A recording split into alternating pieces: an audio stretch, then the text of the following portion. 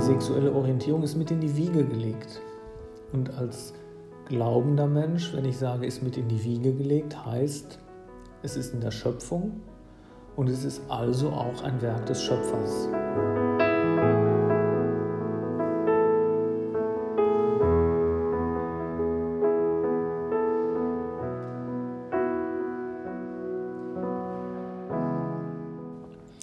Und ich erwarte eigentlich im Übrigen auch mit, mit, mit, mit zahlreichen Bischöfen, dass ähm, wir eine Veränderung der Sexualmoral brauchen, auch eine neue Sicht auf, auf Homosexualität.